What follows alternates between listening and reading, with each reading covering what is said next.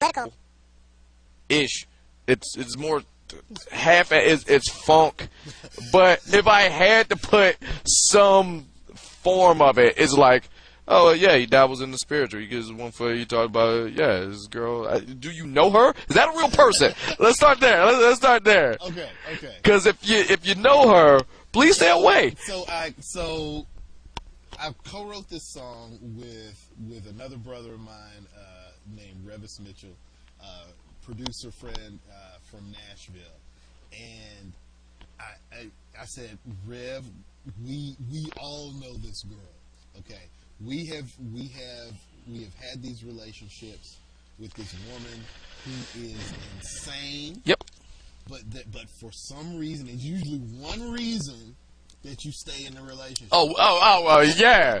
There's usually one. The crazy ones are always good at one thing. There's one reason you stay there, and and you just you milk it for everything you can until It gets too until crazy. she smashes the windows in your car, or you know she does something just out of yeah. it ha- it has to it has to um, just be something so crazy where it tipped the scales. Um, right. I- and okay. so, so you know, so so yeah. So that was so a friend of mine. A friend of mine made that statement about about his girlfriend at the time. You know, that yeah, she's crazy, but she's the right kind of crazy. And I'm like, yes.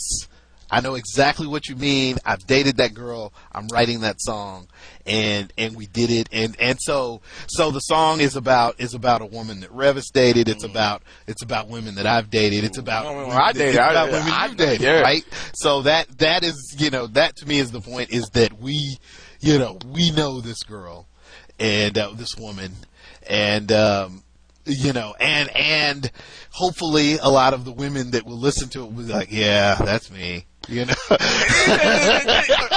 okay, first I of don't all, know. I don't think know. you're getting No, that I- level know, of we'll see. honesty. We'll we'll see. Well, I don't We'll think see I, I, we'll- I am we'll have to very ask the anxious to ladies. see that. We'll ask the ladies. I'm I'm I'm, I'm actually uh, I'm working on some T-shirts, and that's that's the way that we'll know. You're like, gonna, we're- we're gonna do we're gonna do the ladies shirts that say you know I'm the right kind of right crazy. kind of crazy. We'll Okay. know. But we'll see, we'll see with the shirts. But I, if you're looking for an honest response, I think you'll get one of those.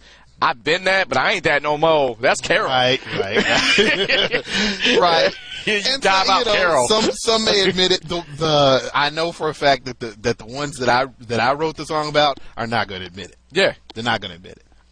Yeah, at that's just all. the law of the land. Because like I, I just went through my mental rolodex, and my I'm like maybe one, maybe if you catch on the right day, Mm-hmm. would admit, all right, all right, that's me. but like, I love that. I love that it was almost um